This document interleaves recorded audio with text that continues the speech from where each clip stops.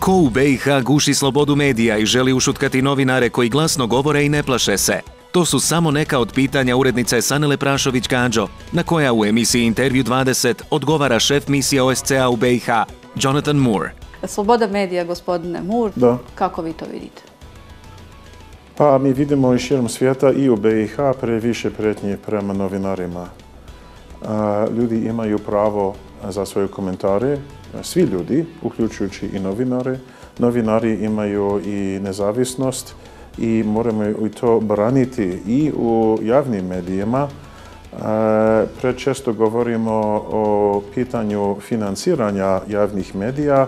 Moramo i sve češće govoriti i o sastavu emisija, e, o tim konkretnim pravima koji, e, koji novinari imaju.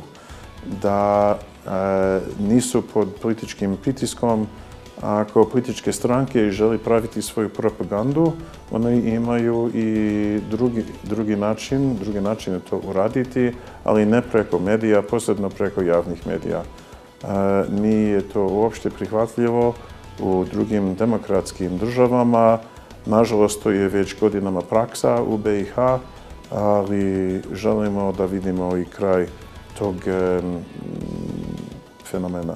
E, Vrlo konkretno ću vas pitati, gospodine Muri, zamolit ću vas e, sa naslova funkcije u koju obnašate da mi vrlo konkretno odgovorite. Da li je vama normalno, da li je to u vašim Sjedinjenim državama normalno, da e, određena politička opcija u Bosni i Hercegovini koja je na vlasti e, prati rad novinara na način da izgradi cijeli jedan mehanizam i sistem, da transkriptuje dakle, njegove objave na društvenim mrežama, e, izjave iz emisija. Evo, na primjer, vi šta kažete u ovoj emisiji ili u nekoj drugoj kod nekog drugog novinara, e, da se vade iz konteksta te izjave, da se arhiviraju, da se prati praktično osoba, dakle novinar, privatno i službeno, s ciljem njegovog e, na- pritiska na njega, na njegov rad, na njegov život, na njegovo djelovanje i da se to sve dešava u Bosni i Hercegovini danas.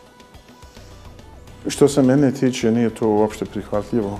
E, znam da to postoji, znam da e, taj fenomen ima e, u Bosni i Hercegovini. To je, kao što rekao, neprihvatljivo, ne samo žalostno, nego neprihvatljivo. Mi smo vidjeli i više primjera tih ljudi koji imaju i privatne komentare na društvenim mrežama i nekad su i verbalno napadnuti i e, dobili su i pretnje i smrću, silovanjem, samo zbog toga što i, imaju i svoja privatna mišljenja. Nije to uopšte prihvatljivo. E, ljudi moraju raditi svoj posao u skladu sa zakonima, pravilima i tako dalje, ali e, da vlasti očekuju da smeju kontrolisati sva mišljenja i privatna e, državnih službenika, nije to prihvatljivo. Da li je vama u redu kada e, federalni premijer Fadil Novalić oformi tim za praćenje, tako jedan pravi obavještajni sektor, za praćenje novinara gdje se skupljaju ti podaci, kao što sam vam rekao u prethodnom pitanju, e, sa ciljem potpune e, diskreditacije i pritiska na novinara. I, dakle, tamo postoje fajlovi, dvadesetak stranica iz razgovora, iz emisija, iz e, privatnih potpuno razgovora, postova po Facebooku i tako dalje. A onda zaključak u tom fajlu na dnu stoji da dakle, novinar se proziva, dakle, novinar koji je usput rečeno neovisan, dakle, nije uposlenik nijedne RTV kuće, potpuno je neovisan, dakle, se proziva da on svojim stajalištima koja iznosi, tako neovisno, dakle, uništava. Predsjednika, ruši, citirat ću, dakle, ruši predsjednika države Bosne i Hercegovine Bakira Izetbegovića, federalnog premijera Fadila Novalića, kantonalnog premijera Elmedina Konakovića i federalnu ministricu obrazovanja gospođu Dilberović. Evo ja pozivam tužilaštvo Bosne i Hercegovine, kantonalno tužilaštvo, da ode do gospodina Novalića da provjeri te navode. Evo da mene je uhapsi ako treba da provjere ove navode. Dakle, Je li to vama normalno da dakle, federalni premijer formira svoj obavještani sektor koji se bavi istražnim radnjama, mi imamo institucije koje se tim bavi i ne samo istražnim radnjama, nego i kvalifikacijom krivičnog dijela, dakle da neko nekoga ruši. Rušenje predsjednika je krivično dijelo. To dobro. Državni udar, je li tako?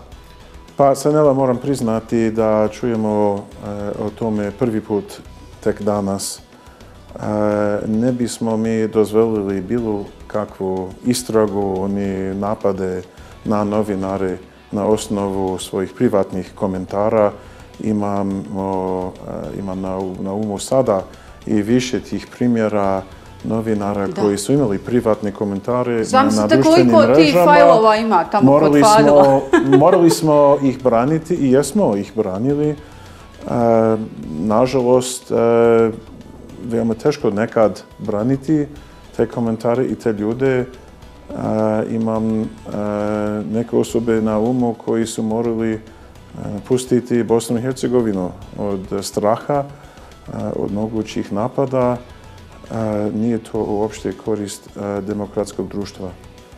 Što je vaša poruka za zvaničnike koji to radi, gospodine Mor?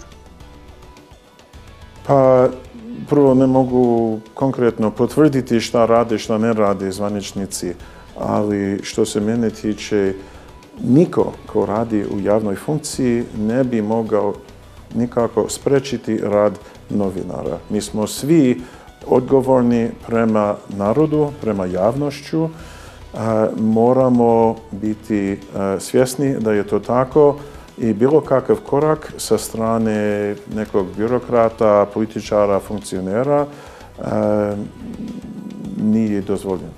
Ovo izdanje Intervjua 20 gledate u petak 13. januara u 21 na BHT 1.